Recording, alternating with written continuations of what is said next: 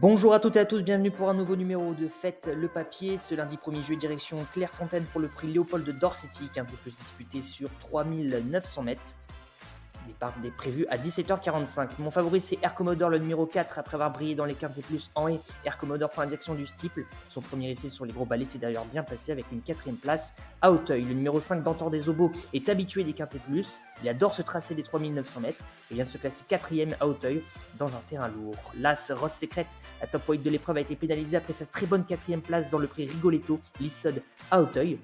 Rappelons qu'elle n'est jamais sortie des 5 premiers en steeple. Le numéro 3 et réaliste. Invaincu en haie cette année, il a également de très bonnes lignes en steeple, avec notamment 3 succès en 9 tentatives. Numéro 6, Sliss and Dice, absent de 7 mois, elle a bien négocié son retour avec une deuxième place à l'Andivisio et une victoire dans une classe 2 à Hauteuil. Et enfin, numéro 14, Joy Vol. Il reste sur 3 succès en 4 courses. Il monte clairement de catégorie, mais ses premiers pas à ce niveau seront scrutés.